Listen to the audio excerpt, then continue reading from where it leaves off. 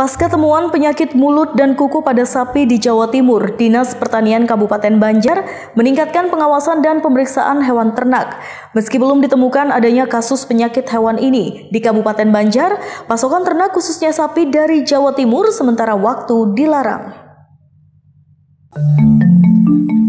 Pengawasan dan pemeriksaan hewan ternak khususnya sapi yang masuk ke wilayah Kabupaten Banjar gencar dilakukan Dinas Pertanian setempat.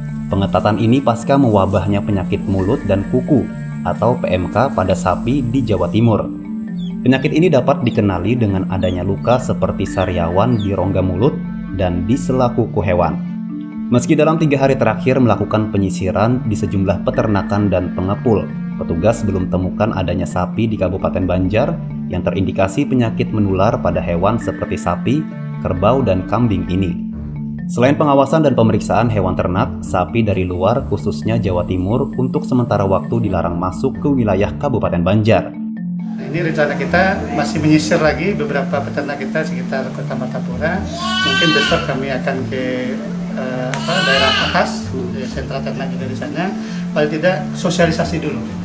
Ya, sosialisasi dulu jangan sampai pada saat ini mereka melakukan pembelian apakah dari luar pulau atau mungkin antar kabupaten. Jadi kami sementara ini kalau bisa uh, stop dulu untuk uh, lalu lintas ternak.